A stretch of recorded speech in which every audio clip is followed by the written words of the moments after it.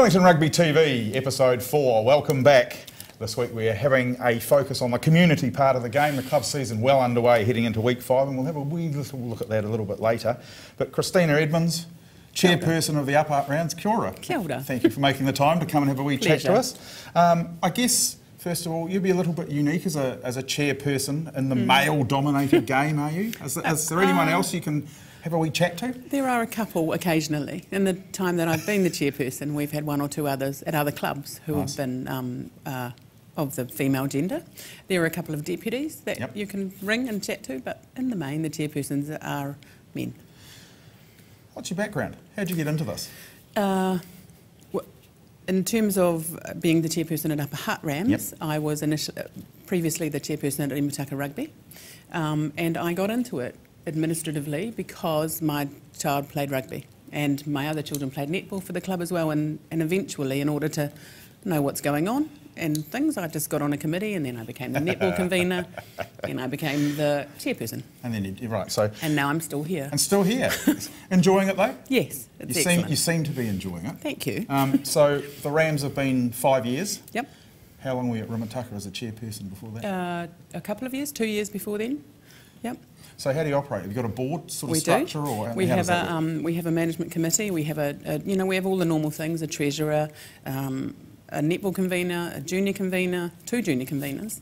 Um, we have a rugby committee. We have a club captain. We, so we get together. We have a good committee of a dozen people, and we we have a lot of subcommittees who look after the rest of our club. So you're more the, the chairperson of the sporting hub rather than Yes. just the rugby. Oh. Or, or Well, it, do you have a little bit of influence on the other side of things? some, you mean the netball side? Well, that's where exactly where I mean. Uh, a little, not a lot. The club operates a senior club and a junior club. it does. The juniors club and, in, up in the top part of the valley, there's always been particularly strong. Hmm. How's it going at the moment? It's going well. We operate two junior adjuncts, which represent our, our former clubs. Why? Why do you do Uh, that? Because when we came together as one club to establish the new club, the piece that needed fixing was our senior club. We had Take note, players. seniors. Players. Been fixed. Yes. Have We they been had- fixed yet? I think so. Yes, I think they're all okay. thinking on the same path now and moving that way. And and one of the major um, motivators for us becoming one club was because we needed a focus for rugby in our community. Because young men were leaving school, couldn't decide where to play, where their mother pla- where their dad played, or where their mates played, and then decided they'd go down the valley because then there wouldn't be any conflict. So that wasn't useful for So us. So the junior, the junior section, I think we were talking before, 570 something 577 registrations. registrations so far. Yep. Do you struggle to get the volunteers looking after them? Do you struggle to get you know, Parents- the coaches, the managers? The, no, you don't. For the junior adjunct, parents are very happy to be involved with their children. It's as they as they get older and go to school and they get involved in lots of other activities, parents are too stretched to come back to the senior club. nice. What's the goals for the junior club? Um, Where do you want to see it go? I, I think we want to build it and build it to see it um, uh, represent our community really well. To be, our club is based on a series, a strength of family values, Nice. and we want our children to come back and feel safe to bring their children, you know, for generations to come. I guess I always sort of think about if, if you've played your club junior rugby Yep. for one club, Yep. if the experience has been a good one, you'll go You'll back. go back, You'll go yeah. back there, and I guess that's That's of what we're we- building. Mm. we're Fantastic. Um, Burger King Sideline Behaviour Award in 2016. Tell me Yes, about that. We were very, we were, we were very proud of both of our junior adjuncts because um, one was nominated, and in fact both were nominated, but one was awarded the Burger King Sideline Award, and that was Rimutaka, and the club that came second to them was the Upper Hutt Juniors. So we. Um, we are very proud of the way that they do that. And in the last year, they've been uh, still doing it, still very conscious of good sideline behaviour, but other teams have come up to our standard. And so it's a, it's a little harder. Well, that's good though. That's good for the perfect. game. Um, but values you talked about, that's fantastic. Yep. It reiterates that, that you know things That- are working. Yep. The senior club, um, the highlights of the senior club. If I was, if we were to wander down to Yep. Renz's bar, the old lonely goat herd, a few years ago, and sit in the corner, Yep. bless him, David Knoll, and I was to say to you, what's the highlight? Tell me a couple of highlights of the senior club. What would they be? Um, I think they would be the way that people, uh, that our players understand that they're representing our club. They're representing their community, they're representing our life members, they're representing those children in the junior adjuncts, and they are in everything that they do representing our values. A number of, uh, I guess, in recent times, players who have got to the top level, and Yep. I'm talking about the Sevens boys here Yep. particularly. Um, So we've had um, Murphy Taramai Mm-hmm. in our first year, and who is now playing for the Blues and North Harbour. We've had uh, Max Pearson. We've recently just had Daniel Shrivers join Yep. that elite team. So we are, um, and our and our Upper Hutt Rams are the Wellington champions as well. So and have been for, a- For for a number of years and are particularly yes. powerful at it. And I, and I guess you look across Jason Woodward, who carved out a pretty successful career. Oh. Indeed, in the Rebels and the Canes, and yeah. now with Bristol. We've got Anaru Rangi Yes. in um, Australia, playing. And, and that bloke Jane, Corey Jane, he, he played A all right. didn't lad, he? he went okay. Jane. He was Where all is right. he? Where he's finished Uh, playing? What's he doing? He's back. Um, he's back. We've pulled him back into our community, and not. It wasn't very difficult. Really? No. Oh, I wouldn't have thought so. He is, um, and so he is a. He is a.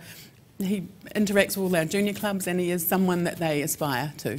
So, Fantastic, fantastic. Life members, yep, annual meeting of the Wellington Rugby Union just a couple of weeks ago. Yes. The mayor, our mayor. the mayor, Wayne Guppy, the Indeed. pharmacist from Main Street, has now been inducted as a life member of the Wellington Rugby Indeed, he has. Fantastic. We were club. very proud of that. We were um, very, very happy to make that um, nomination, um, and and that it was supported so well by our colleague clubs. Um, we had, it was not even difficult to get anybody to help us second him or, or, or support it.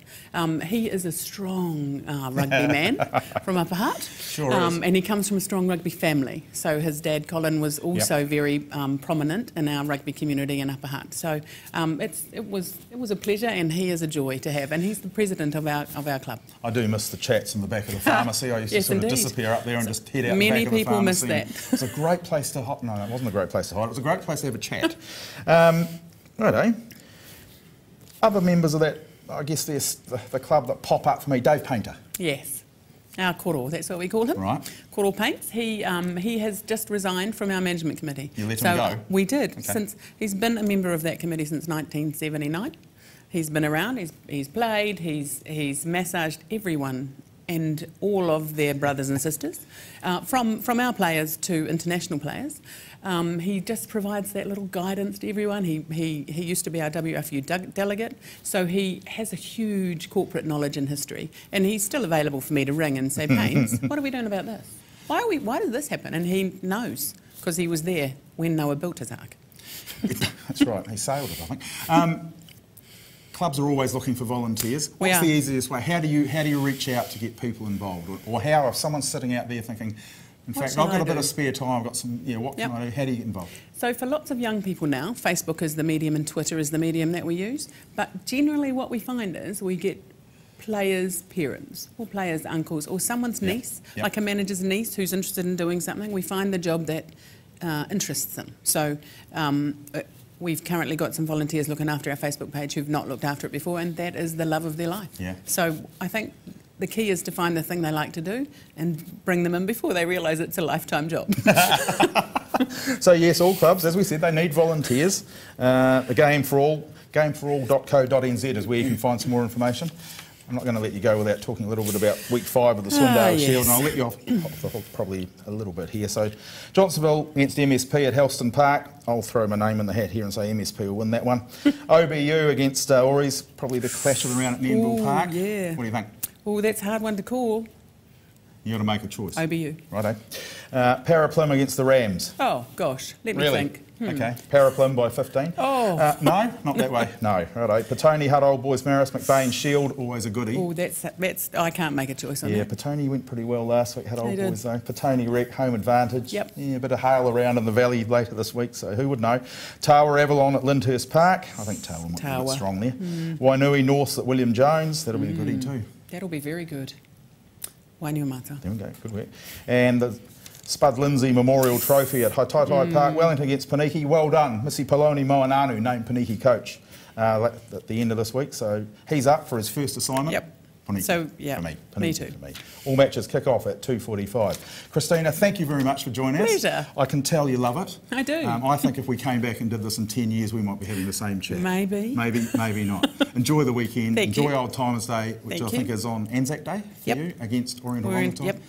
And go the Rams. Thank you very much. Have a great weekend. Ross Bond, Wellington Rugby TV.